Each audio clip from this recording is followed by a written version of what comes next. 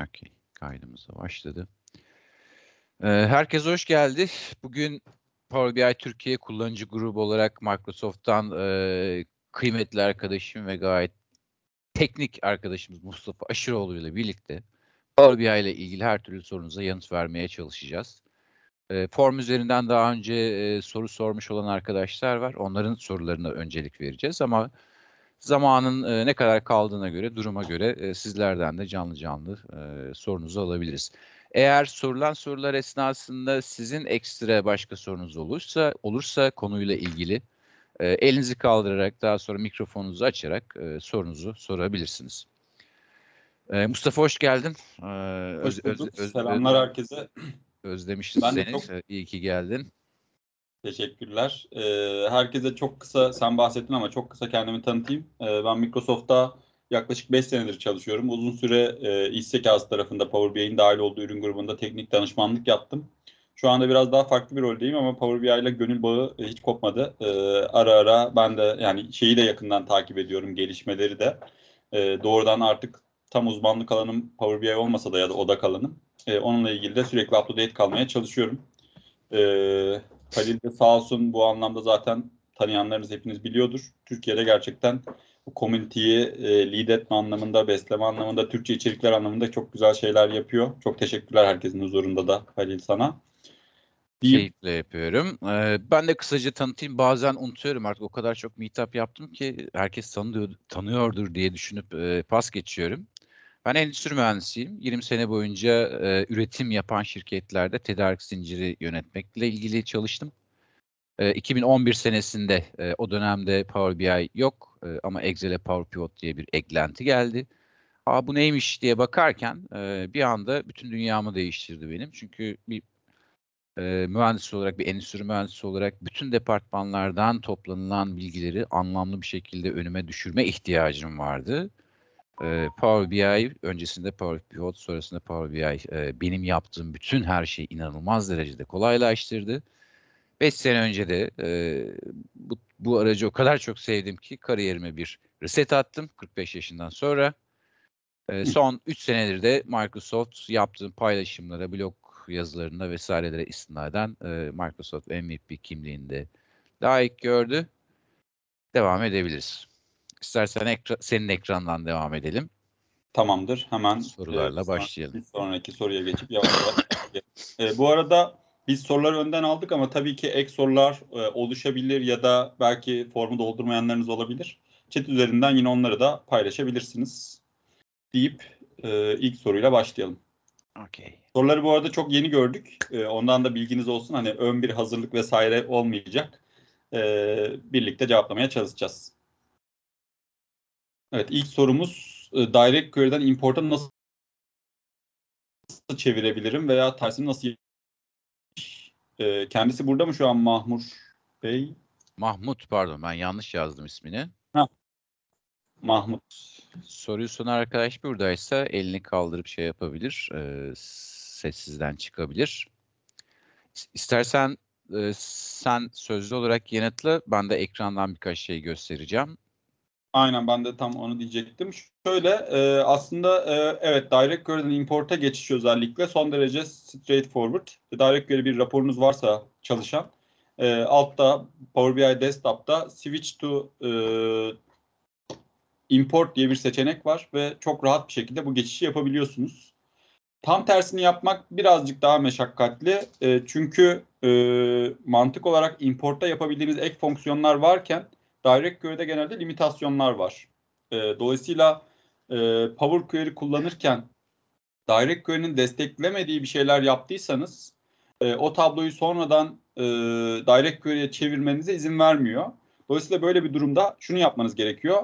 Onun sorgusunu kopyalayıp Power Query'de e, tekrar Direct Query olarak yani import olanı Direct Query'e çevirmek istediğinizde birazcık daha uzun. E, istersen Halil sen ekrandan da bahsedebilirsin. Ya da benim atladığım bir şey varsa kaçırdım. Lütfen sen de yorumlarını ekle. Tamam. Ee, ben de ekranımı paylaşayım. Görürseniz bir haber edin lütfen. Geldi şu an ekran. Ee, şimdi eğer data kaynağı olarak, veri kaynağı olarak nizami bir veri tabanıyla çalışıyorsak SQL gibi, işte Oracle gibi vesaire E, iki tane bağlantı yöntemi var başlangıçta. E, ya import ederiz datayı ya direct query ile bağlanırız. Import adı üstünde bağlantı yaptığımız kaynaktan bütün veriyi alır Power BI dosyasının içinde tutar. Direct query hiçbir data tutmaz. Sadece metadata bilgisini tutar. Connection bilgisini tutar. Modeli kurup raporlarınızı oluşturduğunuzda raporları e, inceleyen, interaction'a giren herkes, misal yıldan, e, yıl filtresinden bir şey seçtiğinde sonuç döndürebilmek için arka tarafta direct query ile bağlantı yaptığımız veri kaynağına direkt gider canlı sorgu atar. E, ben 2-3 tane tablo aldım buraya. Direct query ile bağlantı yapılmış e, tabloları aldım. Basit bir satış tablosunun etrafında satışı yaptığımız müşteri ve e, ürün var. Buradaki relationship relationship ekranına geldiğinizde ve tabloyu da e, seçtiğinizde şurada bir bölüm var. Şunu da küçülteyim. Direct query mi, import mu, dual mı? Bağlanırken ben direct query ile çektiğim için bu modda geldi. Şimdi direct query ile bağlanmış bir sorguyu import'a çevirebilirim ben. Bana diyor ki seçtiğim tablonun e, hangisi olduğuyla ilintili olarak bir mesaj gösterebilir, e, biraz daha az detaylı gösterebilir. Fark etmez. Diğer tabloları da ya import'a çevir ya do'la çevir e, diye öneriyor. Bunların arasında ne fark var? Biraz önce SQL'e bağlanırken bir tek import diyordu, direct query diyordu. Burada bir de dual çıktı. Şimdi Power BI'ye yaklaşık bir buçuk sene, iki seneye yaklaştı neredeyse e, kompozit model diye bir şey geldi. O ne demek? Bizim modelimizin iç, içerisindeki bazı tablolar importla alınmışken bazı tablolar direct query çalışabilir. Dual bu iki modun arasındaki bir hibrit mod.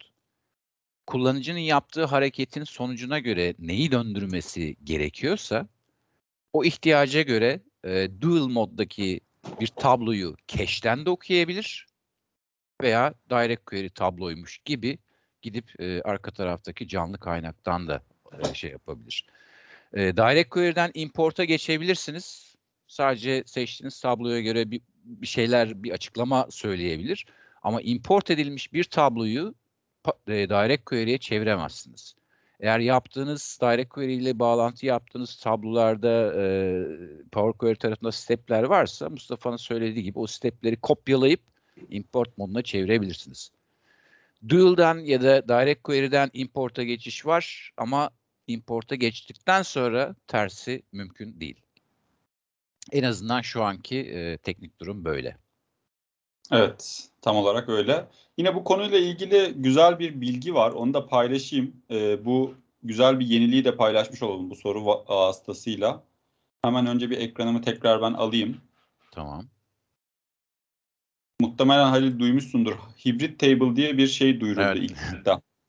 Ee, çok ilginç bir teknoloji. Ee, onu da sadece yatırımcılara detayına girmeyeceğim ama en azından bir ekran olarak gösterelim. Oradan da devam edelim. Önce ekranımı paylaştım. Bir yandan da evet Hybrid Table'ın sadece şeyini göstereceğim size.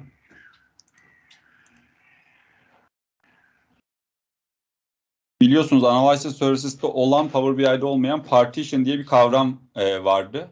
Artık Power BI tarafına bu partition geliyor hem de Analysis Services'te olanların çok daha ötesinde feature'larla geliyor gözüküyor. E, tablonun aynı tablonun bir kısmını import, bir kısmını direct query yapabileceğiz. Hatta bunun üzerine bir de aggregation eklediğimiz şey aggregation diyorum incremental refresh eklediğimizde tablo böyle olacak. Yıllık veri, son 10 yılın verisini ben 290 milyon satır her bir yıl için saklıyorum. Üzerine quarter'ın datasını e, yine ayrı bir partition'da saklıyorum.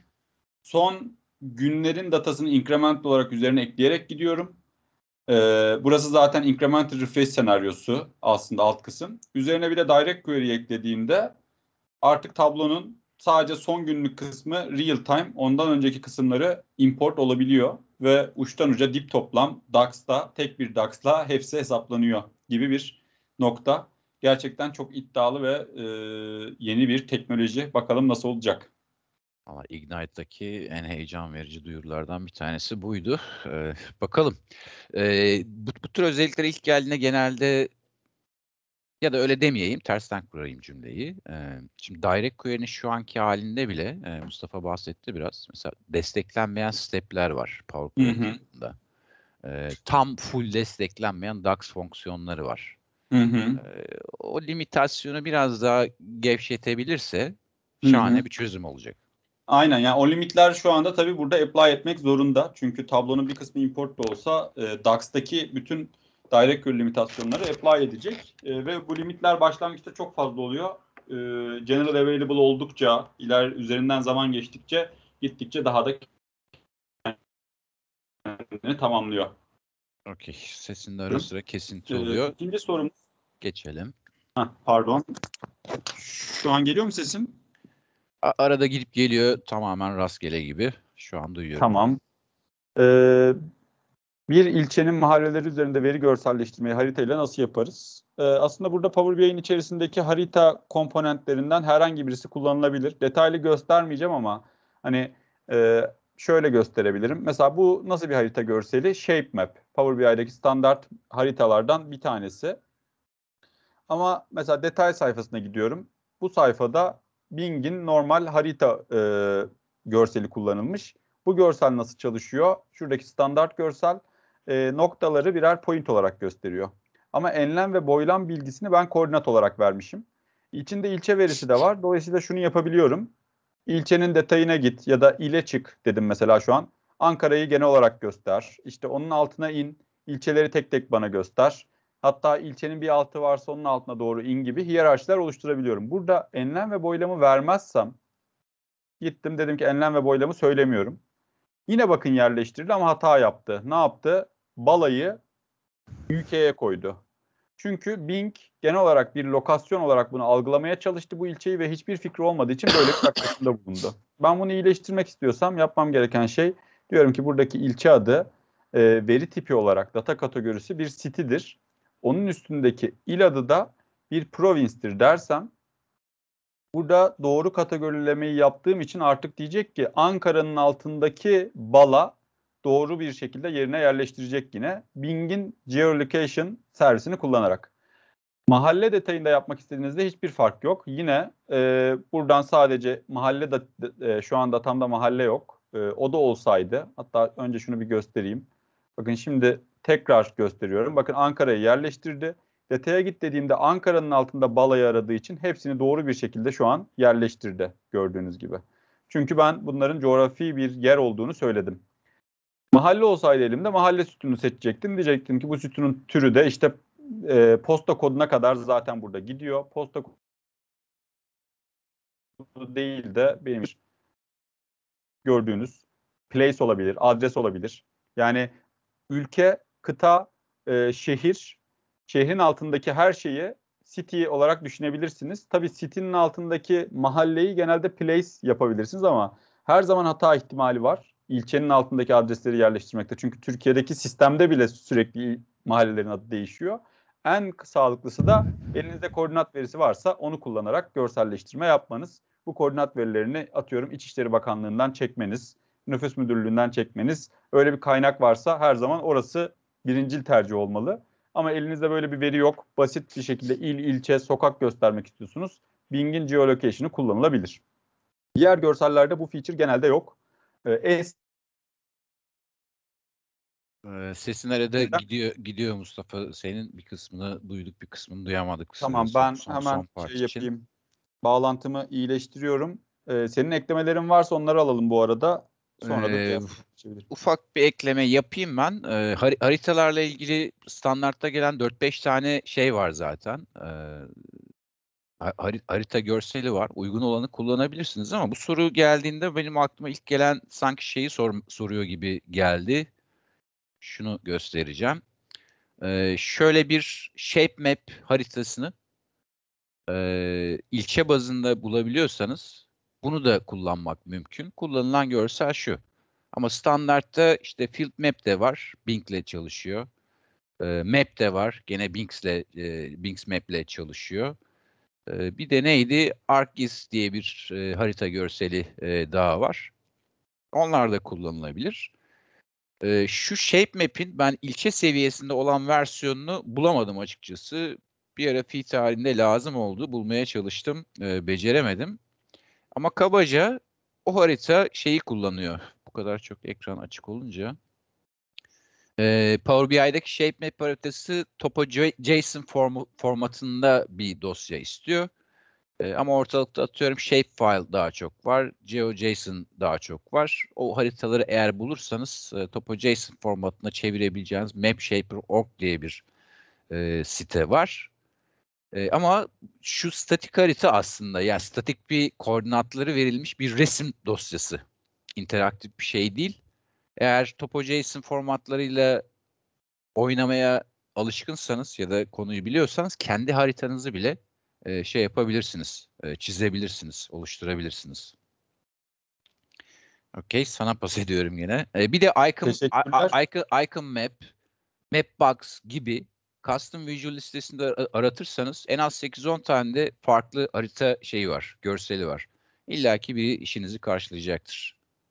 Aynen öyle. Orada Azure Maps de bu arada çok güçlü bir harita. Ah, ee, Bing, Bing'in üzerine Microsoft çok fazla ekleme yapmıyor açıkçası. Şu anda tamamen harita odağını Power BI kendi native harita odağını Azure'a kaydırmış durumda. Azure Maps görseli de ücretsiz bir görsel, Microsoft'un sunduğu bir görsel ve orada işte multilayer, üç boyutlu objeler, heatmap'ler, e, etiketler, altlıklar hepsiyle ilgili çok fazla kastimizasyon imkanı sunuyor. Ona da göz atmanızı öneririz. Evet, bir sonraki soruya geçtim. Tamam. Ee, sesim daha iyi geliyor mu? Telefona geçtim şu an. Kesilmedi şu an. Hı-hı. Süper. Ee, Microsoft ailesi olarak Power BI eğitimlerini yapmayı, yaygınlaştırmayı düşünüyor musunuz? Bu da güzel bir soruymuş. Ee, şöyle, şimdi e, aile, Microsoft olarak konuşmasam da şu anda hani Microsoft'un bir çalışanıyım ama e, genel olarak buradaki yaklaşım şu. Microsoft e, doğrudan bir eğitim e, organizasyonu ya da eğitimi yapan bir taraf olarak genelde yer almıyor. Bizim tabii ki e, genel hatlarıyla bir şeyleri anlattığımız müşterilere spesifik, belli müşterilere odaklı oturumlar, toplantılar oluyor ama genel olarak Power BI eğitimlerini genelde iş ortaklarımız, MVP'ler, e, burada Power BI İstanbul'un yaptığı gibi etkinlikler e, üzerinden ilerliyor. Şirketler eğitim istediğinde de genelde bu e, bir iş ortağı üzerinden yürüyor. Tabii burada Microsoft ne yapıyor? Microsoft da tabii ki Power BI'nin eğitim, yani insanların Power BI'yi öğrenmesi için çok fazla çalışma yapıyor. Burada Microsoft'un yaklaşımı globale yönelik e, bununla ilgili trainingler, kurslar oluşturmak. Mesela yakın bir zamanda şu kursu göstermek güzel olabilir. E, genel olarak Power BI'ye işte başlangıç seviye, yeni başlayan birisinden çok kompleks işler yapanlara kadar her seviyede e, Power BI nokta yani Power BI'nin powerbi.com altında learn sayfasından ulaşıyorsunuz buraya. Onlarca kurs var. Mesela bu çok yeni yayınlayan bir yayınlanan bir kurs. Tamamen rapor ön yüzü nasıl tasarlanmalı, hangi data için hangi görsel seçilmeli gibi bileşenleri içeren bir kurs. Ve siz burada işte e, her bir konuya tıkladığınızda size adım adım anlatıyor. Hatta quizler yapıyor vesaire bir akış var. E, bu kurs gibi tekrar şuradan biraz daha geriye gidersen Microsoft genelde aslında burada içerikler yayınlıyor. Diğer bütün ürünlerinde olduğu gibi siz burada Power BI'yi ben bireysel olarak öğrenmek istiyorum dediniz mesela. Şurada bakın Get Started with Power BI gibi kurslar var. Buradan alan da seçebilirsiniz. Geldim. Doğrudan ben neyi istiyorum? Microsoft Power Platform altında Power BI eğitimi istiyorum. Tabii bu eğitimler self-paced yani tıklayarak kendinizin okuyarak, videoları izleyerek izlediğiniz, e, öğrendiğiniz bir metot. Eğitimin çok farklı şekilleri olabiliyor. Sınıf eğitimi e, ni kastediyorsanız eğitimden o zaman bir iş ortağıyla yapmak. E, yani Power BI İstanbul gibi ya da e, farklı Türkiye'deki diğer iş ortakları gibi iş ortaklarıyla çalışarak genelde bu organize ediliyor. Ee, ama bireysel olarak ben öğreneceğim, kurcalayacağım diyorsanız Udemy'de yüzlerce e, şey var, video var. YouTube'da zaten sınırsız kaynak var. Bireysel öğrenmek noktasında inanılmaz bir e, aset var diyebilirim. Mustafa Bey, Halil, bölüyorum çok özür dilerim. Çok pardon buyurun, bölüyorum. Ee, siteye nereden girmiştiniz? Onun notunu e, kaçırdım da ben kusura bakmayın. Buraya mı? Tabii hemen Hı-hı. paylaşayım. Şöyle şuradan yönlendireyim hatta. powerbi.com altında ee, yani başka yerlerden de gidiliyor da powerbi.com'dan gidelim. Yanlış yere gittik pardon. Microsoft.com. ben de yapıyorum aynı hatayı. Aynen. Power BI Microsoft.com. Evet hiç gitmemişiz bu şekilde. Yani Google'a Power BI yazacaktım aslında ama biraz uzun sürdü.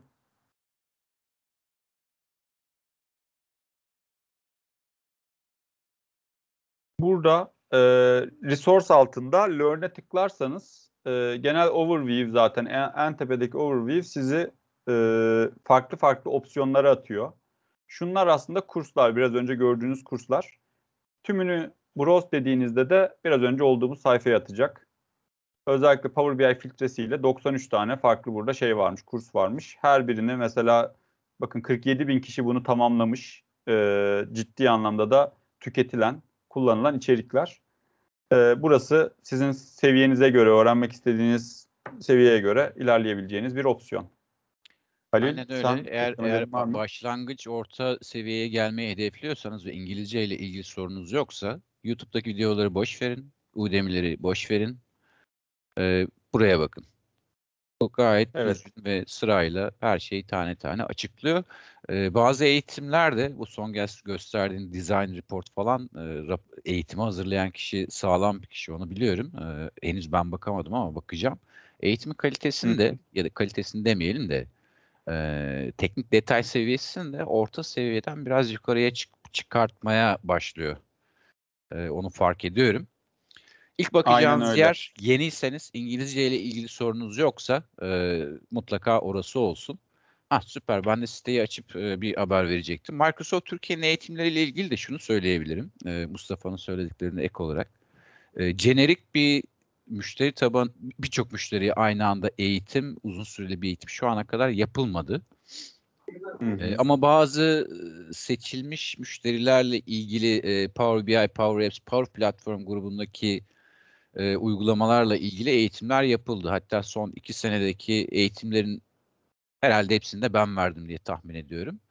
E, onu yaygınlaştırır mı, yaygınlaştırmaz mı, yaparsa nasıl yapar? Onu Microsoft'a sormak lazım. Beklemekte fayda var. E, şimdi Türkçe içerik çok fazla yok maalesef. E, Udemy'de var, e, YouTube'da birkaç kanal var. E, ararsanız mutlaka bulursunuz. Ben kendi adıma şeyi söyleyebilirim. Yaklaşık bir, bir iki ay içerisinde Power BI ile ilgili şöyle güzel derli toplu bir e, fundamental setin diyeyim. E, burada on demand olarak Türkçe bir şekilde çıkartacağım. Bütün öğrenci arkadaşlara, yeni mezun arkadaşlara ücretsiz vereceğim. İş sahibi olanlara ücretli. Bedavanın kıymeti çok fazla yok. E, eğitimlerle ilgili benim ke- kendi hissiyatım da biraz şunu söylüyor. Bunu ta 10 sene öncesinde neredeyse öğrenmeye çalışan, bir yere gelmeye çalışan birisi olarak çok fazla kanal takip etmenin çok fazla faydası yok. Ee, ister YouTube olsun, ister başka me- mecralarda olsun, iyi anlattığını, detaylı, hardcore bilgi verdiğini düşündüğünüz insanlar varsa bunu Twitter'dan da bulabilirsiniz. Sadece YouTube'da değil. O insanları takip ederseniz isimler belli zaten. Eğer biraz birkaç günlük bir araştırma yaparsanız kimlerin takip edileceğinin listesi çıkar.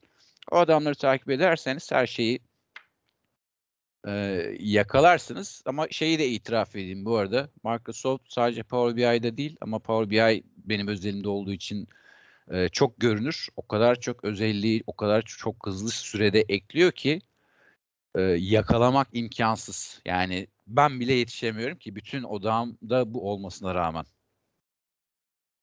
Yani bende de benzer bir şekilde ben özellikle şu anda tek odağım Power BI olmadığı için mevcut rolümde e, aynı şekilde böyle gece arada bir aklıma geliyor ya acaba son iki ayda ne geldi diye hazmedemiyorum. Yani hazmedemiyorum derken bir anda okuyunca anlaşılacak şeyler de değil. Hepsi derya deniz konular. Tabii onlarca mühendis hatta yüzlerce mühendis çalıştığı için inanılmaz bir hızla yeni özellikler ekleniyor. Okey. Sonraki sorudan devam evet. edelim. Tabii ki.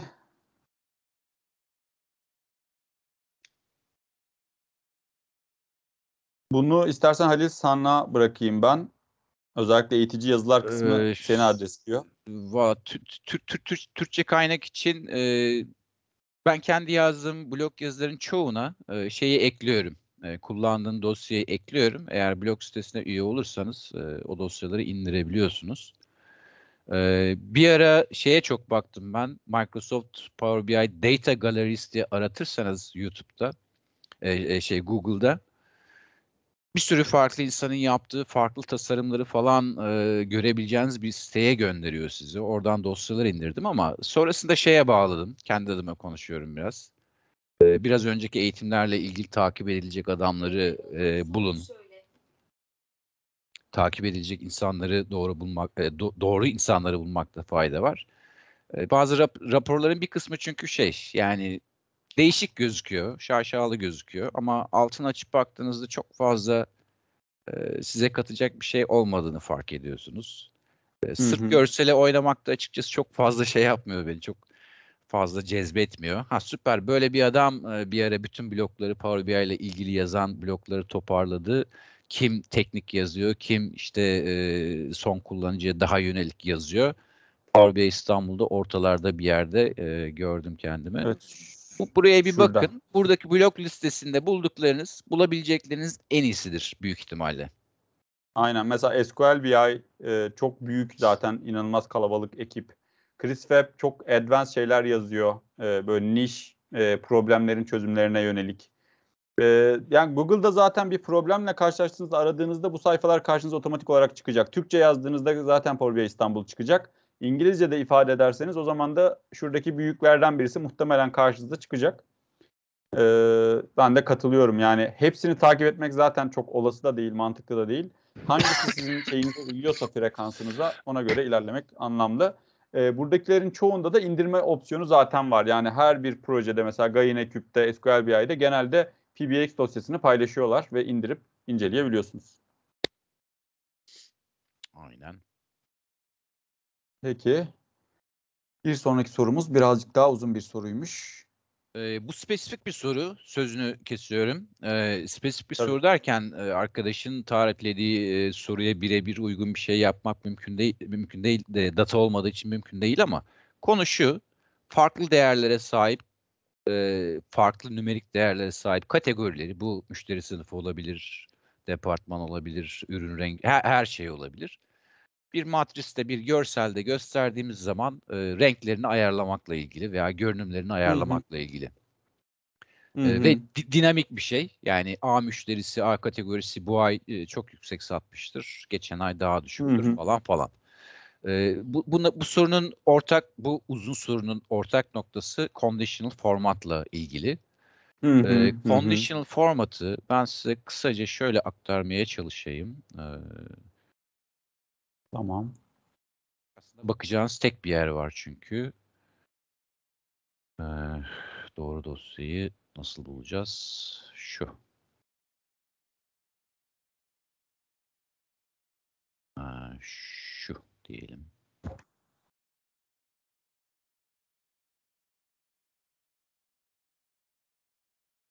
Evet. Mevzu şu.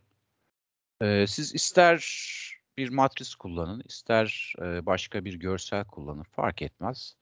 Görseli okumayı kolaylaştırmak için genellikle buradaki herhangi bir metreyi veya herhangi bir değeri büyüklüğüne göre farklı gruplara bölmek istiyoruz. Farklı renklerde göstermek istiyoruz. İşte bütçe yapıyorsak %100 geçenler mavi olsun. Ortada 80-100 arası sarı, kırmızı, turuncu olsun. E, 80'in altı kırmızı olsun vesaire gibi. Şimdi bakmanız ve kurcalamanız gereken format e, ya, da, ya da yer şurada. Bu standart bir matris.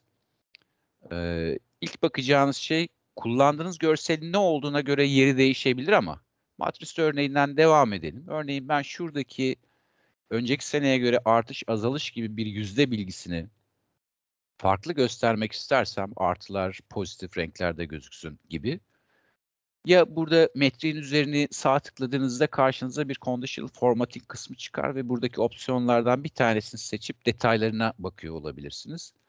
Ee, ya da buradaki fırça tabına gelip buradaki conditional formattan aynı bilgilere erişebilirsiniz.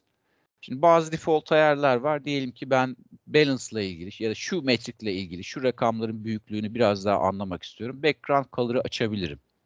Bir default'u var. O default'a göre e, renklendiriyor. Eğer bir slicer koyup bir seçim yaparsam değerler değişirse değerlere göre ve default ayarlarına göre buradaki renklendirmeyi değiştirecek.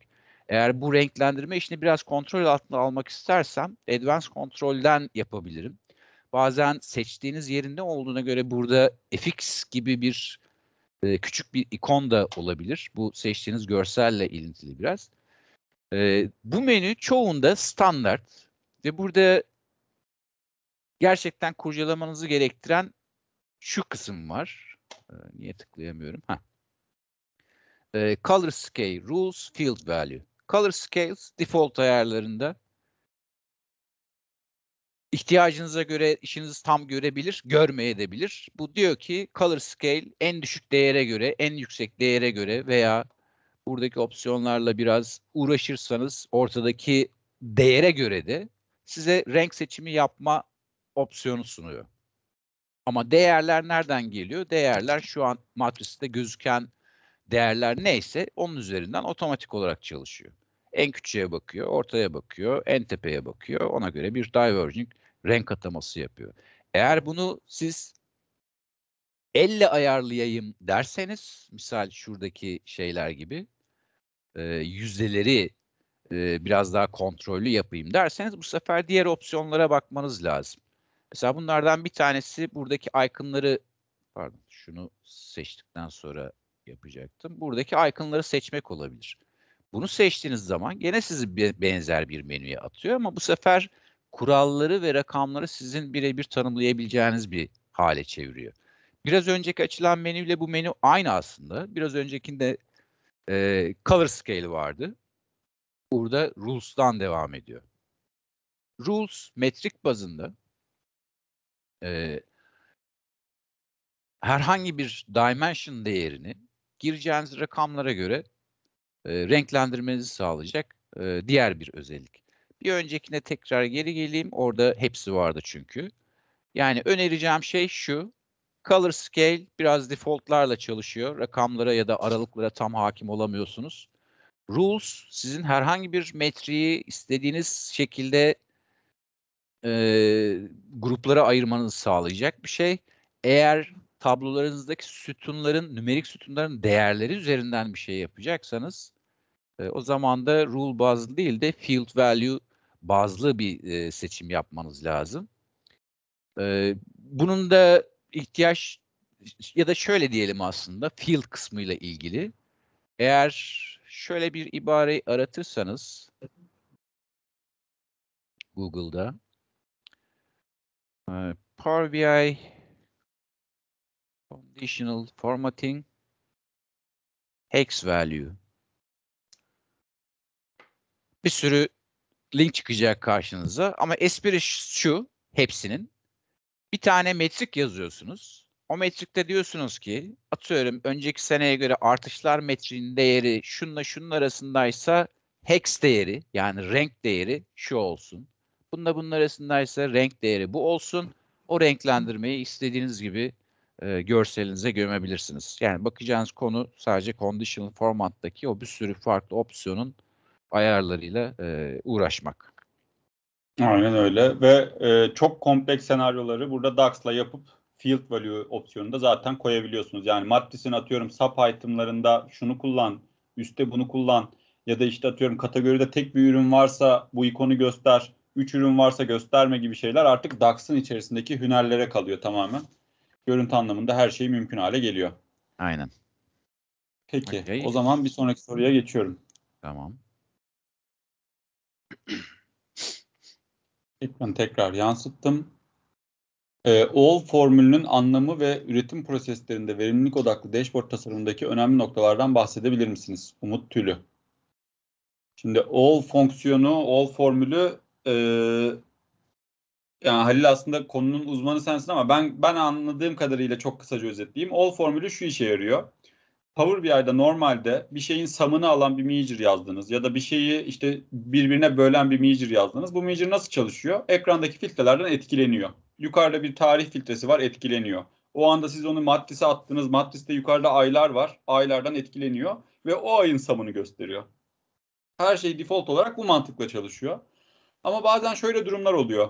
Ben bir sütunda e, evet filtrelenen veriyi göstereyim bir yandaki sütunda da kategori bazındaki toplama bölüp gösterme ihtiyacım var. Dolayısıyla o sütunun etkilenmemesi lazım.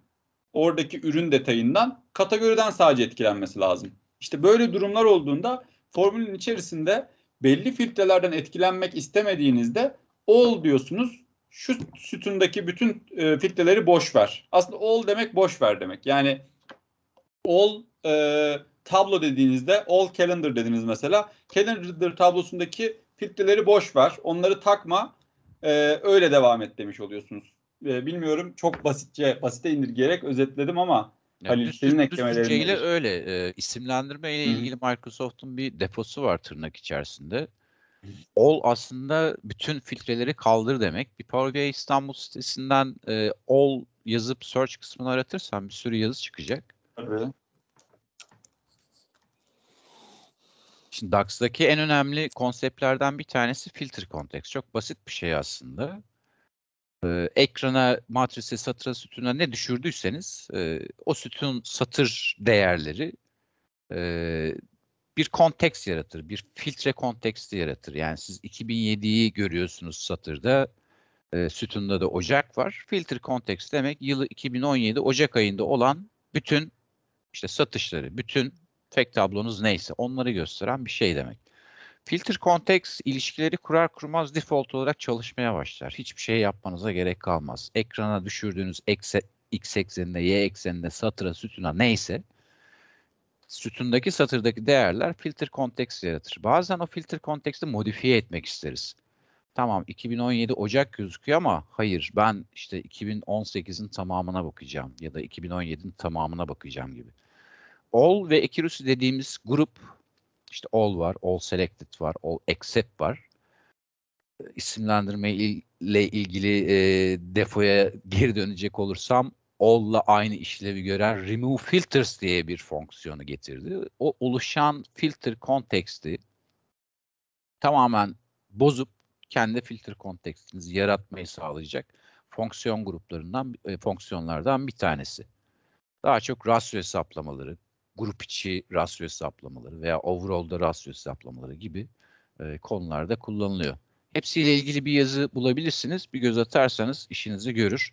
Diğer soruya gelince o tamamen farklı bir şey. Bu sadece üretim olmayabilir. İşte banka ile ilgili soru var, İK ile ilgili soru var. Yani düzgün rapor çıkartabilmek için işin bir teknik seti var. İşte yok filter context, yok all vesaire falan ama iş süreç bilgisi olmadan ya da iş süreç bilgisini bilen birini ekibe kap, katmadan etkili rapor sistemleri yaratmak mümkün değil. Ben üretimciyim. O yüzden bana ekstradan başka zaman ulaşırsanız ben size üretimle ilgili bir sürü metrik söylerim. Ama ne kadar anlamlı gelir sizin işiniz açısından bakmak lazım, tartışmak lazım.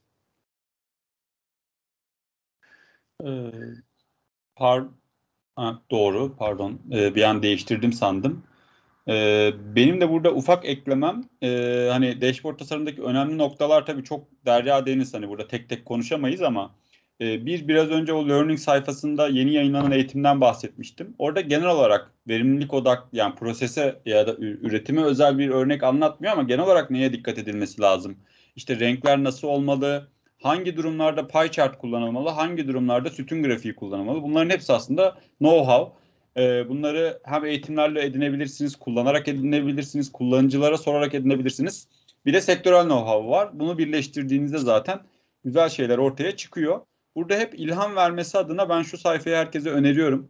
Yani bir konu var. O konuyla ilgili ne yapabiliriz noktasında burada Partner Showcase'de bir takım örnek raporlar var. Bunlar size hani ya bu konuyla ilgili böyle bir şey varmış. Hepsinden iyi yönleri alarak ilerleyebilirsiniz. Tıkladığınızda size mesela bu çok tasarımsal olarak unik bir şey yapmamış. Demiş ki ana KPI'lerimi bir sayfaya koyayım. Sol tarafa filtreleri koyayım. Standart bir analiz. Belki sizin için ne anlamlı olur? Neye bakmış? Hangi detayda bakmış gibi şeyler anlamlı olabilir. Bir sonrakine geçiyorum. Bu ne yapmış? KPI'leri koymuş. O iyi yani hepsinin özeti olan KPI'yi en tepeye koymuş. İşte bu şekilde göstermiş. Yani herkes farklı şekilde benzer şeylere yaklaşıyor.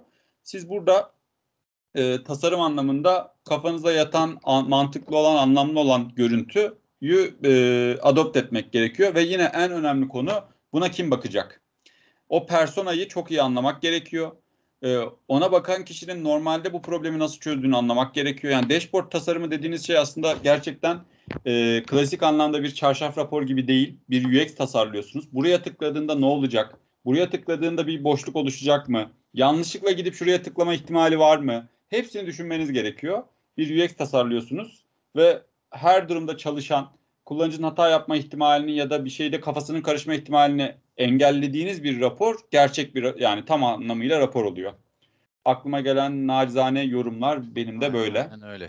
Ee, ben tek öneride bulunabilirim. Çok sık çıkıyor çünkü karşıma. Her şeyi bir sayfada göstermek diye bir şey yok yani.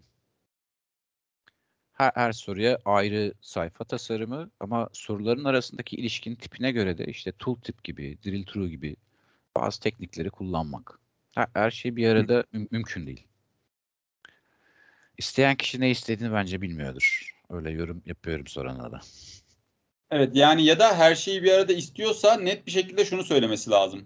Ee, her şeyin hangi özetlerini görmek istiyor? Yani satışların toplamını koy buraya, şunların e, average'ını koy, bunların samını koy diyorsa okey. Bu zaten bir dashboard tasarımı gayet makul. Yani ne istediğini bilmesi lazım. E, ama ben buradaki işte 8 tabloyu da burada görmek istiyorum. Zaten anlamlı değil, okunabilir değil. Yani biz koysak da hiçbir şekilde tüketemeyeceği, anlaşılmayacak bir veriye dönüşüyor. Bir sonraki konu da aslında buradan çok ilişkiliymiş. Buna ben başlayayım sonra e, sen de devam edersin Halil.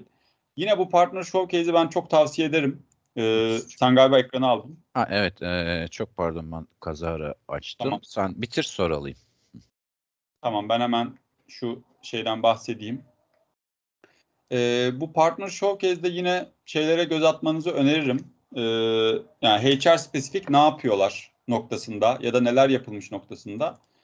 Burada yol göstermesi açısından e, iş ortakları tabii ki bazıları Türkiye'de operate etmiyor olabilir. Siz çalışamayacak olabilirsiniz hiç fark etmez. Siz burada gördüklerinizi sonuçta fikir olarak aldıktan sonra Türkiye'deki bir iş ortağıyla rahatlıkla ya da kendiniz belki uğraşarak ilerletebilirsiniz. Buraya HR yazdığınızda zaten onlarca HR ile ilgili örnek rapor çıkıyor ve bu raporların hepsinde bir e, banka HR'ı demiştiniz. Aslında bütün HR'ların benzer kesişimleri var. Bankanın da belki kendine özgü farklı ufak tefek farkları olabilir.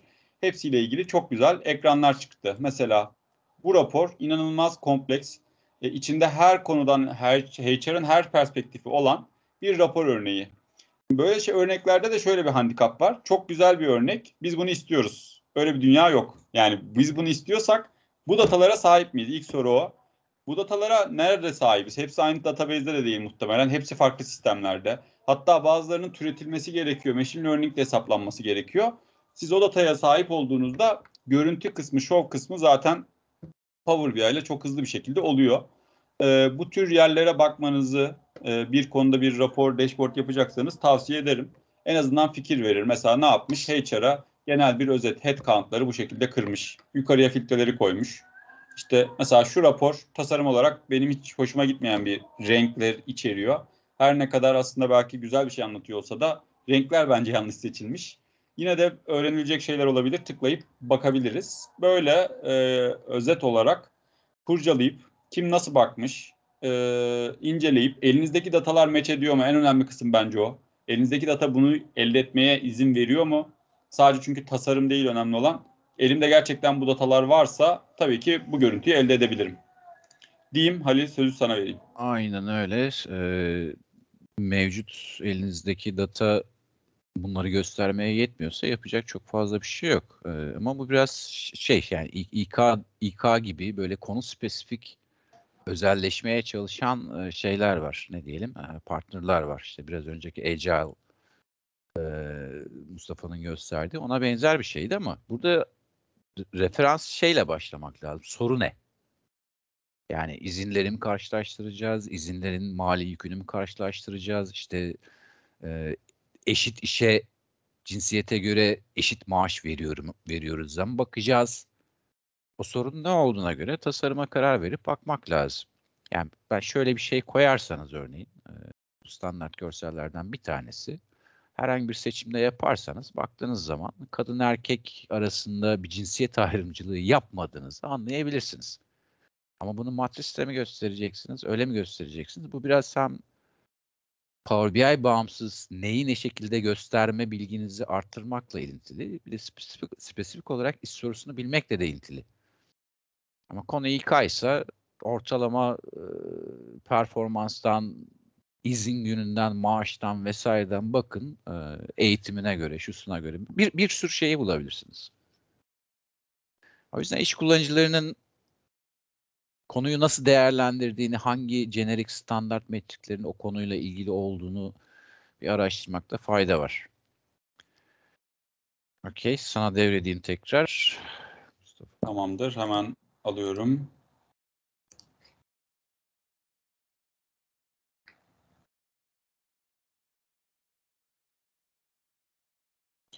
Evet, bir sonraki sorumuz Power BI üzerinden MySQL'den çektiğimiz bir veri setinin string formatındaki farklı dillerden veri tutulan spesifik kolonundaki girdileri İngilizceye çevirebilir miyiz? Ya da herhangi bir dile çevirebilir miyiz? Ee, evet çevirebiliriz ama bu Power BI'nin bir yeteneği değil. Ee, farklı şekillerde yani Power BI'nin yeteneği değil derken Power BI'nin e, datayı translate etmek gibi, datanın içeriğini translate etmek gibi bir fonksiyonu yok. Ama Power BI'nin entegre olduğu bir sürü servis var. E, bu nasıl e, ifade edeyim? Mesela siz hali hazırda Translation'ı Google Translate'in bir API'yi var. Bu Translate'i kullanabiliyorsunuz ya da Bing Translate'in bir API'yi var. Bu API'yi normalde tüketebiliyorsunuz. Hatta çoğu da bu tür API'lerin ücretsiz.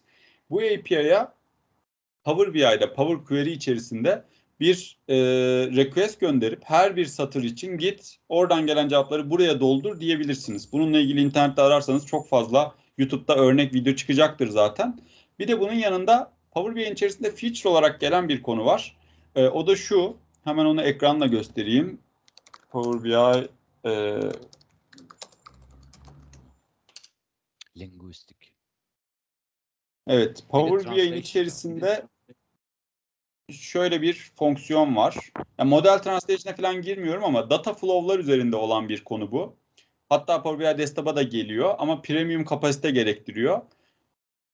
Dat, önce bir data flow oluşturuyorsunuz veri kaynağınız. O MySQL'e data flow'la bağlanıyorsunuz. Sonrasında bağlandıktan sonra burada yapay zeka fonksiyonları diye bir fonksiyon var. Burada bakın e, detect language mesela dil tespiti için hazır bir model var. Bu modeli kullanarak diyorsunuz ki önce burada bir yazı var. Bu yazının dilini tespit etmem lazım translate etmeden önce. O modeli çağırıyorsunuz. Sonra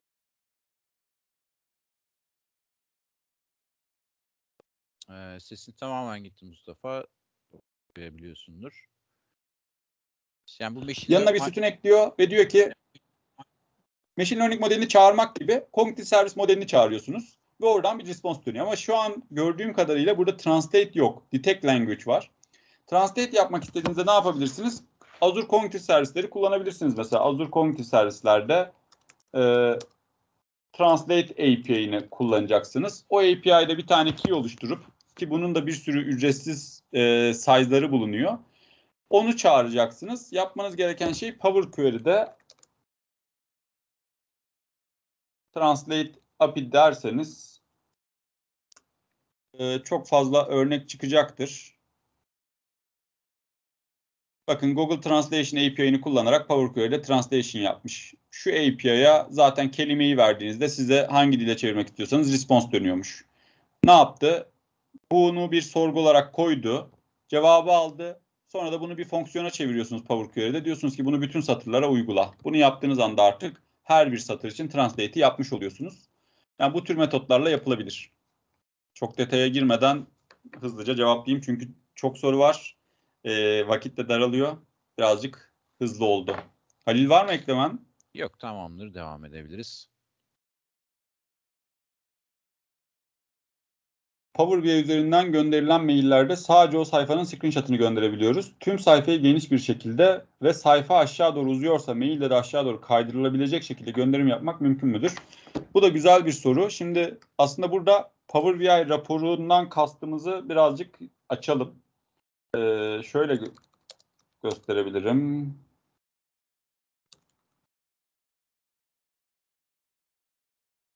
Ben bu soruya kısaca yanıt vereyim mi? Son güncel durumu birkaç ay önce yazdım ben. hı. Sitesinde açarsan direkt vid- video kaydı da var. YouTube'da yayınladım. Ha şeyde Power BI İstanbul'da mı? Ee, Evet, e, şu, şu anki durumda spesifik, bu spesifik sorunun doğrudan e, şeyi yok, e, olurluğu yok. Yani aşağıya doğru uzanan bir resim formatını, ha, raporlara üye olma görsellerin gönderimi, o yazı, alt, en alttaki yazı. Tamam. Aynen. E, onun videosuna bir bakarsanız Hı. Resim şeklinde aşağıya doğru uzanan bir resmi şu anki haliyle göndermiyor ama bir PDF dosyası gönderebilirsiniz veya bir PowerPoint dosyası Hı hı. gönderebilirsiniz. Ama bazısı e, premium lisans istiyor. E, pa- pardon. E, hepsi Pro lisans istiyor. Pro'dan kaçış yok. E, PDF gönderme galiba premium'da ama çok emin değilim. Buna bir göz atarsanız bulursunuz. Ben kendi adıma mevcut raporlara interaktif erişmeyi tercih ediyorum. Statik bir çıktıya bakmaktansa. Eğer Hı siz bunu yöneticilere gönderiyorsanız mobile aplikasyonları verin önlerine. İstedikleri gibi istedikleri ekranı alsınlar favorilerine. interaktif bir şekilde baksınlar. Çok daha pratik. Maili aç, PDF'i aç, onun çıktısını al. Gereksiz bir Hı hı. geliyor bana. Burada bir ekleme daha yapalım. Ee, aslında Power BI'ın bunu yapmamasının bir sebebi var. Çünkü dashboard tipindeki bir raporun zaten bütün özelliği e, çarşaf olarak kağıda basılmayacak ve interaktif olarak tüketilecek olması. Yani filtrelere tıklanacak, şu olacak, bu olacak. Ama sizin amacınız eğer ben bir PDF yapayım ve gerçekten scroll edilebilir olsun ve bu PDF'i de belki kağıda bastırıp yöneticinin önüne koyacağım gibi bir ihtiyaçsa o zaman e, bunun doğru yolu Paginated Report. Power BI'nin içerisinde zaten destekleniyor. Ee, Paginated Report yaparsanız Power BI datasetinden yine beslenen. Onda bakın şöyle bir deneyim var. Rapor ilk sayfada belli bir miktarını gösteriyor 35 tanesini. Ben bunu export almak istediğimde ya da abone olduğumda bir bana soruyor nasıl bir abonelik istiyorsun? Ben ister PDF alabilirim ister Excel ve işin güzel tarafı hangi formatta istersem isteyeyim. Raporu sayfa sayfa render edip aşağı doğru scroll edilebilir bir şekilde bana iletiyor. Zaten öyle bir rapor amacım varsa bakın ne yaptı? İki sayfa PDF altına hatta hatta üç sayfaya çıkmış. Son sayfaya taşmış. Logoları koydu. Raporu bana export etti. Ee, yani dashboard tipindeki bir rapordan bunu beklemememiz lazım zaten. Çünkü dashboard tipindeki raporun amacı interaktif. Her zaman şu scroll olacak. Yani çünkü şey desek de imkansız. Diyelim ki şu scrollları kaydırılabilir yapsın. E bunu kaydırdığında bu görsel nereye gidecek? Yani ya da bu görseli sağa doğru kaydırdığında e, nasıl bir sayfa tasarımı yapacak? Hiç heps, e, hiçbiri belli değil. Ya da butona tıkladığında bu görünüyor. Bunu nasıl çıktı da gösterecek? Bunların hepsinin yeri burası değil. Eğer hepsinin göründüğü bir export istiyorsanız yeri çarşaf rapor RDL. Okey, Ee, Devam edelim. ve aynı dataset üzerinden de RDL yapabiliyorsunuz. Power BI raporunun içerisine de RDL'i embed edebiliyorsunuz son olarak. Yani burası Power BI. Şurada bir çarşaf rapor koyup onu kişinin export almasını ya da ona abone olmasını sağlayabiliyorsunuz. E, Paginated Reports premium lisans istiyor. Ya premium kapasitesiniz, kapasiteniz olacak ya da premium per user lisansınız olacak. Aynen öyle. Ee, bunu da konuşmuş olduk. DAX tarafında sorgu performans açısından nasıl bir yol izlemeliyiz? Çok genel bir soru. Çok Ee, genel de e, ben cevaplayayım müsaade edersen. Tabii. Tabii ki. Ya şimdi DAX'ta Happy Top'u dört tane konsept var. Raw Context, Filter Context, Context Transition, Expanded Tables. Bu, bu kavramları özümsemeden hiçbir şey yapamazsınız. Yap, yap- yapabileceğiniz tek şey Google'da aç, birinin başına gelmiştir. Al kodu modifiye et. Ee, bu, bu yöntem değil. Eğer bu konu sizin kariyeriniz için önemliyse bu dört konsepte yatırım yapıp önce onları anlamanız gerekiyor. Devamında DAX alet edevat kutusu gibi e, konseptleri öğrendikten sonra bunların nasıl çalıştığıyla ilgili e, tecrübenizi arttırırsanız e, tecrübenizi arttırırsanız o zaman farklı şeylere girebilirsiniz. Şimdi orada da iki tane mevzu var. Mesela gruplama yapmayla ilgili kullanabileceğimiz fonksiyon fonksiyonlardan bir tanesi summarize, ilk çıkan fonksiyon. Bunu öğrenmek konuyu özümsemek açısından önemli. Bu fonksiyonun nasıl çalıştığını öğrenmek. Ama iş bunları öğrendikten sonra performansa gelince şeye bağlamak lazım konuyu. Evet, summarize en alttaki her şeyin temeli ama gerçekten grup by tipinde SQL jargonuna göre konuşmak gerekirse bir tabloya ihtiyacınız varsa summarize'ı tek başına kullanmak yerine add columns'la birlikte kullanırsanız performans açısından daha efektif olur. Bu Power BI spesifik bir durum. Ama Summarize'ı anlamadan, onun konseptlerini anlamadan Add Columns'u kullanıyor olmanın bir faydası yok. Hatta bunların da sonrasında Summarize Columns diye e, başka bir fonksiyon daha çıkardı. Eğer ihtiyaç bir şeyi gruplayarak hesaplama yapmaksa Summarize Columns en performanslı olan e, çalışanı. Ama altında yatan logic Summarize'dan geliyor, Ed Columns'tan geliyor. Konsept öğrenmeden DAX'ı performanslı yazamazsınız. Bir kod daha göstereceğim. Mevzuyu anlatmak için. Çünkü konu hakikaten geniş. Ekranda gözüküyor mu? Gözüküyordur. Satış primi diye e, iki tane metrik var. İki farklı metrik her ne kadar birbirlerine çok benziyor olsa bile ve aynı rakamı döndürüyor bu iki metrik. Power BI projeleriniz için öneriler diye bir e, sayfada yazmışım. Üstteki metrik müşteriler tablosunda 10 milyon tane müşteri görüyorsa 10 milyon kez iterasyon yaparak bir hesap yapıyor. Alttaki formül müşterilerin müşterilerin prim oranı müşterilere sattığınız kadar müşterilere prim veriyorsunuz. O da ne olur? %5 prim verirsiniz, 10 prim verirsiniz, 15 verirsiniz. Topu topu 3-4 tane değeriniz olur. Alttaki formül ise aynı rakamı buluyor ama farklı bir kafayla buluyor. Ve sadece 5 kez, 6 kez kaç tane farklı e, prim oranı değeri varsa sadece o kadar iterasyona giriyor. Dönen rakam aynı. Çalışma mantığı datayı bildikten sonra biraz da e, mo- fonksiyon tecrübeniz üzerinden kafayı biraz farklı çalıştırmayla ilintili. Başka bir örnek bu son olsun çünkü konu hakikaten geniş. Eğer Ama güzel örnekler yani gerçekten evet. Expanded Tables diye bir konsept var e, DAX'ta. Bu konsepti eğer anlamadan e, atıyorum tek tablosunun etrafındaki dimension tabloları üzerinden bir şeyi hesaplamaya girişirseniz işte kaç tane beyaz renkli ürün falan falan gibi dimension bilgisinde e, dimension tablosunda olan bilgiler üzerinden hesaplama ihtiyacı duyarsanız yazacağınız formül uzar da uzar. İhtiyacın ne olduğuna göre. Ama expanded tables kavramını bilirseniz aslında yazacağınız formülün gayet basit olduğunun farkına varırsınız. Bunların farkına varmadan DAX'ı optimize etmek gibi bir şey mümkün değil. Önce konseptler anlamak lazım. Devamında test yapmak lazım. Test yaparken yaparken de işte Power BI'de hangi görsel ne kadar sürede oluşuyor bir performansı ölçen gösteren bir bölüm var. Orayı kullanıp e, görselin Tableau Engine'e attığı sorguyu alıp DAX Studio'ya gönderip DAX Studio'da ayrı bir e, derya ama bütün performansla ilgili hangi formülün, hangi fonksiyonun nasıl sorgu attığını göndermek için öğren, e, nasıl sorgu attığını öğrenebilmek için mükemmel bir tool. Onlara geçmek lazım. Yani konsept öğrenmeden hiçbir şey olmuyor. Önce onları öğrenin. Ondan sonra DAX Studio gibi tool'lar üzerinden SQL BI'deki optimizasyon yönelik yazılar üzerinden kimin kafasının nasıl çalıştığını ve bazı pitfall'ları öğrenmekte fayda var. En basitinden fact tablosuna bir if con if ile nested if ile e, condition testi yapıyorsunuz diyelim. A ise şu olsun, B ise bu olsun, yeşil ışık şu olsun. Datayı bilmek bile önemlidir bazen. Eğer if condition'larına yazdığınız ilk condition'ı, olasılığı en düşük condition'ı yazarsanız yapacağınız iterasyon sayısı daha çok olur. Olasılığı en yüksek condition'ı yazarsanız belki 10 milyon değil de 1 milyon iterasyonla aynı sonucu döndürür. Ya bu işin tek ilacı yok ama konsepti mantığı anlamadan e, bu işler hep ezbere gider.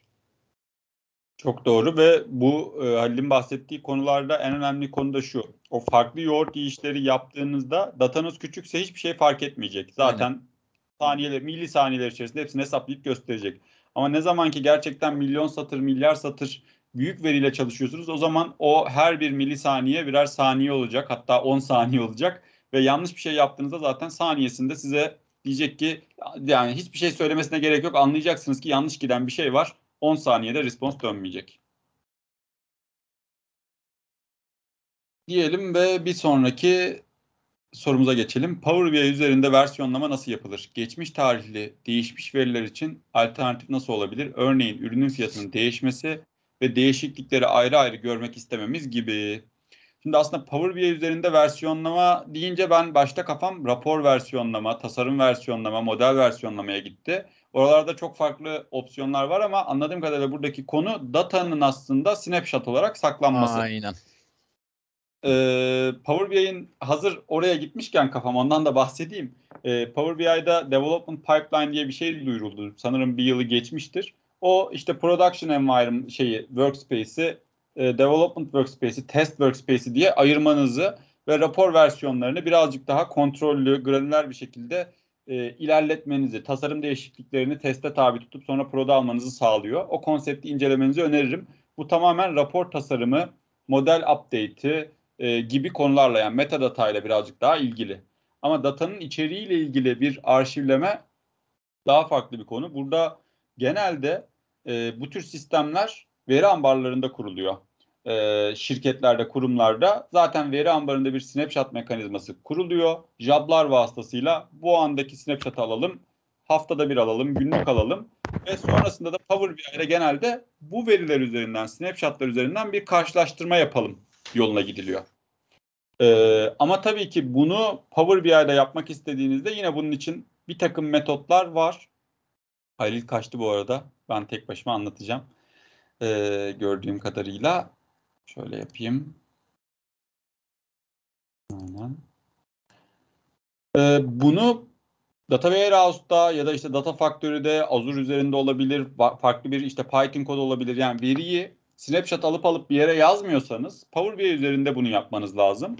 Bir, e, incremented refresh metodunu kullanarak Power BI'nin eski verinin üzerine yeni veriyi e, ay, tablonun üzerine yeni satır olarak eklemesini sağlayabilirsiniz. Ama bunlar çok dikkat edilmesi gereken senaryolar. Neden? Çünkü diyeceksiniz ki işte şu sütun üzerinden incremental yap diyeceksiniz. o sütun da bir şekilde e, sizin kaynak sisteminizden değil datanın çekildiği tarihten beslenmesi lazım. Diyeceksiniz ki incremental refresh'i ben kandırırım. Aslında o dataya yeni satırlar geldikçe yeni veri çekiyor. Ben çektiği tarihteki verilerin zaten sorgusu ona tarihi dönecek. SQL cümlesinin içine today koyduğunuzu düşünün sütuna. Buna bağlı olarak her gün çektiğinde Power BI alt alta ekler gibi bir kurgu yapabilirsiniz. Ama bunlar hep yani workaround da diyebilirim ya da bir e, tasarım başka bir amaçla kullanma senaryoları. Normalde böyle bir arşivlemenin en doğru yeri data katmanı, Power BI katmanı değil. Power BI katmanında bu arşivlemeyi yapmak için Data Flows yine bir kullanılabilir bir araç. Çünkü ham datanın yazılmasını sağlıyor Power BI tarafına. Mesela şunu yapabilirsiniz. Ee, X tarihinde ben snapshot almak istiyorum. Hemen Data Flow'da refresh derim. Entity'yi doldurur. Data Flow'un içindeki bütün entity'leri doldurur. Sonra tekrar e, şey almak istiyorum. Snapshot almak istiyorum. Save as derim. Tekrar data flow kaydederim ve içine bütün datayı kaydederim. Ama bu manuel bir yöntem. Belki hani bunu da zorlasanız kodla yaparsınız. Ama bu tür şeylerin genelde en doğru yeri data katmanı oluyor. Ee, Halil senin eklemelerin var mı? A- aynen öyle. Ben de senin gibi düşündüm. Versiyonlama soruyor gibi yapıp başka bir şey soruyor gibi hissettim. Ee,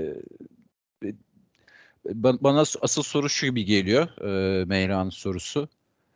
Şimdi özellikle SQL bilgisi yüksek olan profilin yaptığı bir şey var. Bu finansla ilgili olabilir, stokla ilgili olabilir. Hiç fark etmez. Historical veriyi SQL sorgusu e, tarafında işliyor. En son durum neyse onu gösteriyor. Yani şu anki stok ne? 100 atıyorum. Soruda diyor ki bir önceki ay neydi, bir önceki hafta neydi, dün neydi vesaire falan. Ben soruyu Hı-hı. böyle anladım ya da bunu sorduğunu tahmin ediyorum. Eğer durum buysa veri kaynağında çekerken historical datayı Power BI modelini almadığınız sürece ve o hesapları dinamik olarak Power BI tarafından modellemediğiniz sürece geçmişi göremezsiniz. Snapshot birçok ERP'de anlık stoğu gösterirken arka tarafta kullanılan bir yöntemdir. Tamam. Bütün her şeyi tekrar hesaplamamak adına. Ama rapor yapıyorsanız snapshot ya da statik şeylerin hiçbir anlamı yoktur ya da çok az anlamı vardır. Ortalama vade misal alacak veya borç. 40 gün. Dün kaçtı? Geçen ay kaçtı? Bir müşteri iyi historical datayı da modele alır ve onun bütün hesaplamalarını Power BI tarafında yaparsanız bunu görürsünüz. Ama size verilen Hı-hı. zaten data size verilen data zaten bir snapshotsa eller yukarı teslim. Yapacak bir şeyiniz yok. Ha, en bir de şöyle bir şey var. Biri.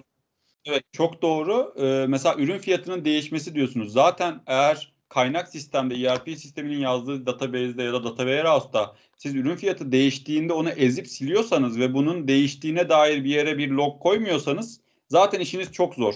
Ee, bunun olması gereken yaklaşım ürün fiyatı değişimleri diye bir tablo olması ve bizim onun da bir data olarak erişebilir olduğumuzda o zaman DAX'la belki taklalar atarız. Deriz ki ya şu tarihte bu hesaplasak bu hesaplamayı o zamanın ürün fiyatlarıyla ne olurdu? ne kadar değişti hepsini analiz ederiz. Ama ürün fiyatları değişimini siz bir yerde tutmuyorsunuz ve silip o satırı yeni satır ekliyorsanız e, orada bütün datanın snapshot'ını almak aslında çok verimsiz. Yani onun yerine change log olsa ve her şey e, olması gerektiği gibi modified by change on change de, e, by change on gibi e, metadata sütunları olsa o zaman zaten geriye dönük her şeyi hesaplamak çok kolay olur.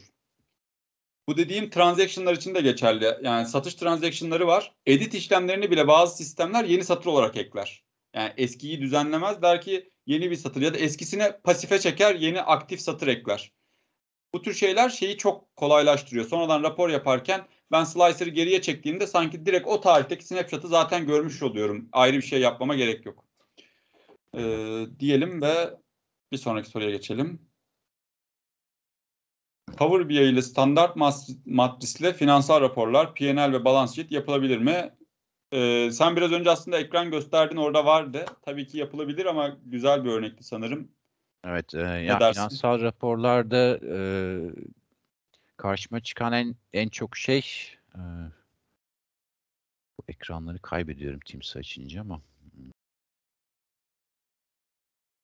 snapshot alıyor olmak hatasına düşüyor maalesef birçok arkadaş. Ama eğer düzgün bir model kurarsanız birkaç farklı teknik kullanılabilir. Tek standart bir yöntemi yok. Ya da tek bir tekniği yok. Birden fazla yapılabilir. Transaction bazında bütün hesap hareketlerini alır ve onu model katmanında düzgün bir şekilde tasarlarsanız tabii düzgünün birkaç farklı açılımı olabilir. Kafamızın nasıl çalıştığına göre, modeli nasıl kuracağımıza göre. En tepede işte bilançodaki, balance sheet'teki gelir gider tablosundaki başlıklarınız neyse en tepede o, o başlıklardan başlayıp en alttaki hesap hareketine kadar inebilirsiniz. Eğer modeli düzgün tasarladıysanız. Bu biraz modelleme bilgisi biraz kafayı nasıl çalıştıracağımıza göre değişebilir ama rahatlıkla yapılabilir. Standart matriste de yapabilir. İlla custom görsele ihtiyacımız yok. Ama ek bilgi olarak şeyi de söyleyeyim standart matrisin kabiliyetlerini biraz daha farklı ele alan custom matrixler var. İşte Zebra diye bir Zebra BI diye bir şirket var mesela Microsoft partneri. O adamlar finansal matrisler üzerine ya da finansal raporlar üzerine yoğunlaşmış ama kullandığı görseller standart matris değil.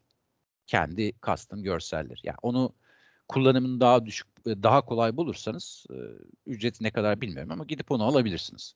Ama modelleme ve DAX tecrübeniz yerindeyse diyelim e, kısaca çok uzatmadan en tepedeki header'dan en aşağıdaki işte net kar, EBITDA her neyi her ne her ne varsa e, bilançonuzda, finansal raporlarınızda en alttaki seviyeye kadar gayet rahat rahat modellenir. Bütçe de aynı şekilde. Yani hem gerçekleşeni hem bütçesi. Bu aralar bütçeyle başım dertte benim. Böyle inanılmaz Excel'ler geliyor bütçe için, şeyler için. Ee, son Excel'im 140 e, sayfa, 140 sheet.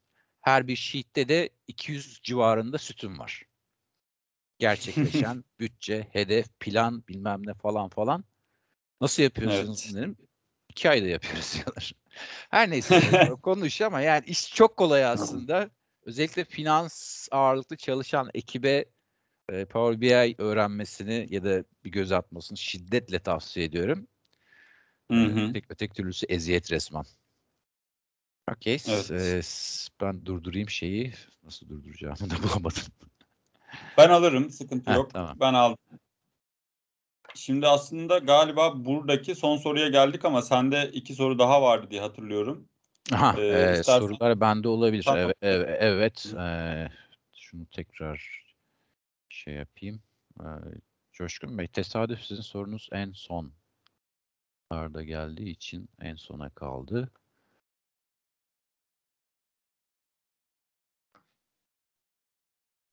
Ee, şu Merve'nin sorusunu hızlıca cevaplayayım. Sonra Coşkun Bey'e geçelim. Biraz daha uzun çünkü şeyi.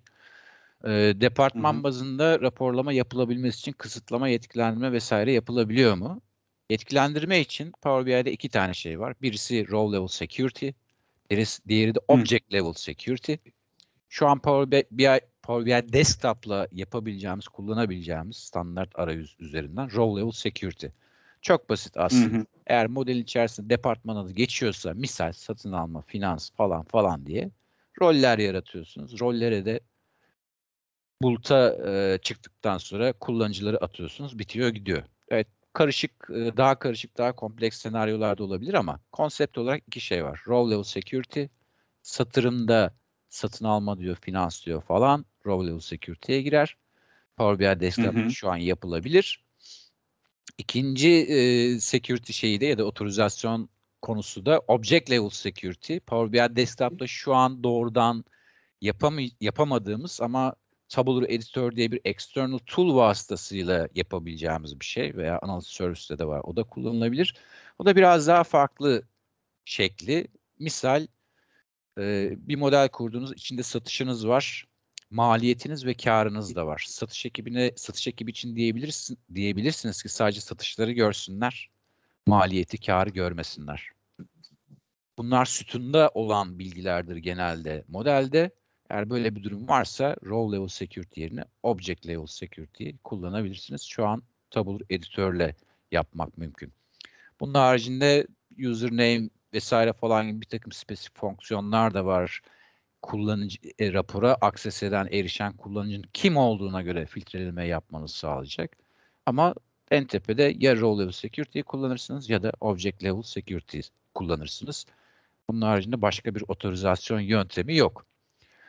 Ee, Coşkun Bey'in sorusu ek- eklemek istediğim varsa Mustafa e, yo- yoksa Mustafa sonraki soruya geçeyim. Son Yok, soru bu zaten. Chatten paylaştığın kaynakları yani dediğin gibi orada bir data güvenliği söz konusu. Çok granüler yapılabiliyor.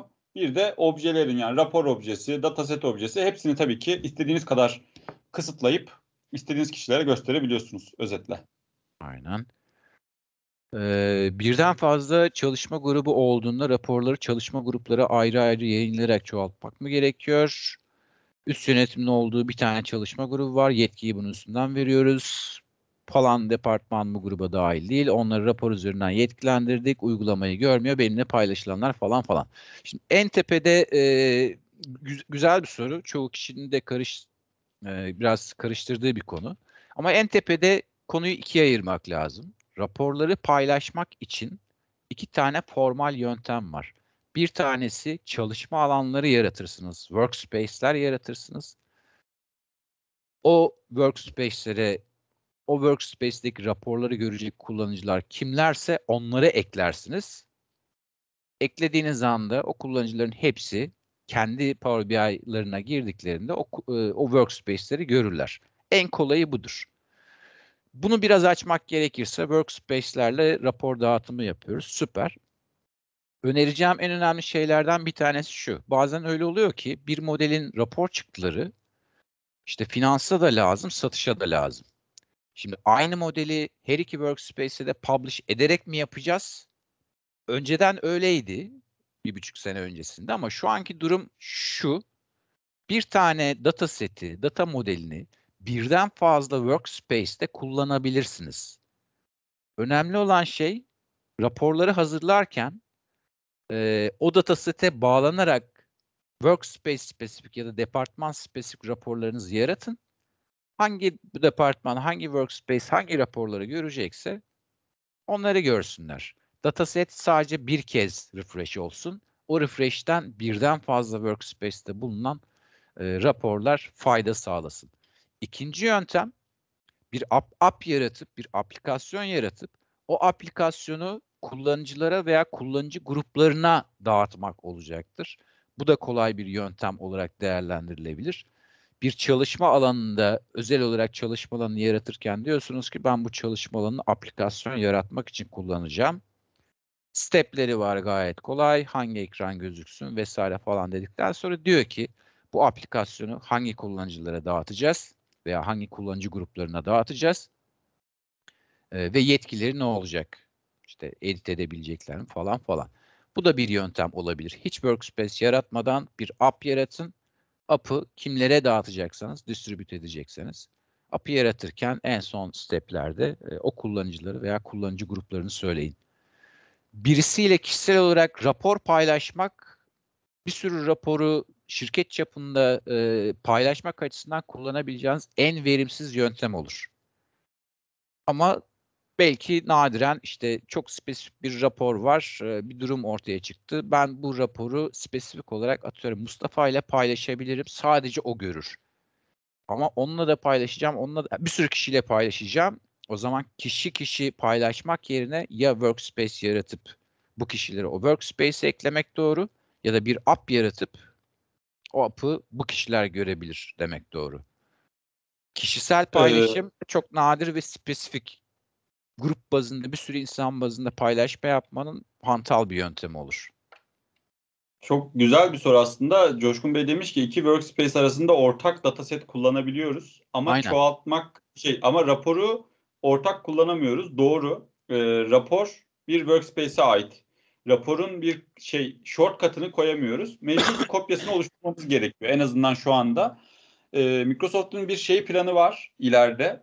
App'i e, app'in içindeki asetleri selective yayınlama. Yani aslında şu anda bir workspace bir app eşleşmesi var.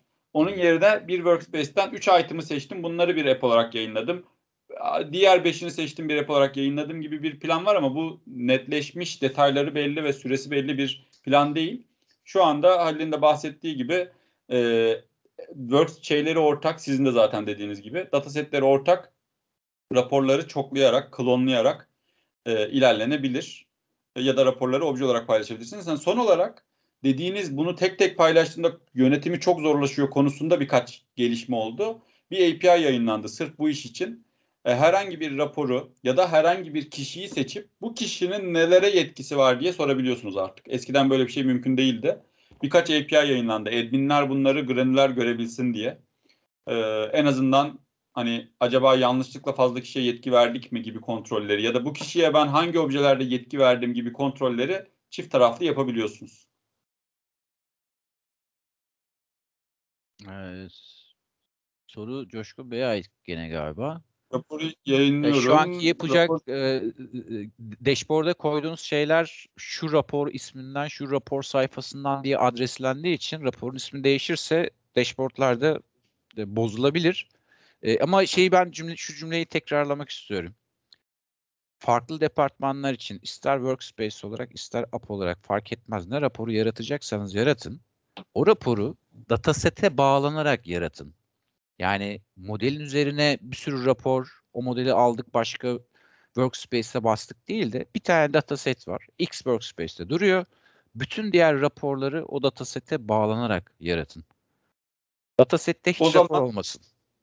Aynen. O zaman zaten bu soru birazcık boşa çıkıyor. Çünkü isimleri değiştirdiğinizde de hiçbir şey fark etmeyecek. Datasetin ismi önemli olan. Datasetin ismiyle uyan PBX'inin zaten ismini neden değiştirirsiniz? Rapor ismi hiçbir yerde görünmüyor. Dataset ismi datasetin e, PBX'ini hep sabit tutup raporu istediğiniz kadar türetebilirsiniz, oluşturabilirsiniz. Rapora özel measure dahi ekleyebiliyorsunuz. Aynen. Datasetten bağımsız. Öyle yönetmek yani. daha doğru olur. Saatimiz de yavaş yavaş buçuk olmuş. Ee, başka soru var mıydı Halil? Yoksa bitirelim. Ee, bana bana gelenler bu kadar. Ee, kaç kişi var? Aşağı yukarı 11-12 arkadaşımız var. Eğer sorusu olan varsa arkadaşlar kendinizi sessizden çıkartın, sorunuzu sorun. Eğer değilse gelen sorular bu kadar. E, detaylı yanıt vermeye çalıştık. Süreyi de epey aşmışız. Ben çok farkına varamadım. Sorunuz olursa adresleri biliyorsunuz zaten. Her zaman sorabilirsiniz. Eğer varsa sorunuz alayım. Chat ekranında bir şeyim var diye bakıyorum. Yoksa katılımınız için teşekkürler. Yayın aşağı yukarı bir iki hafta sonra YouTube kanalında tekrar izlenebilir. Katıldığınız için teşekkürler. Kendinize dikkat edin. Evet, teşekkürler. O zaman görüşmek üzere. Kendinize dikkat edin. Kolay gelsin.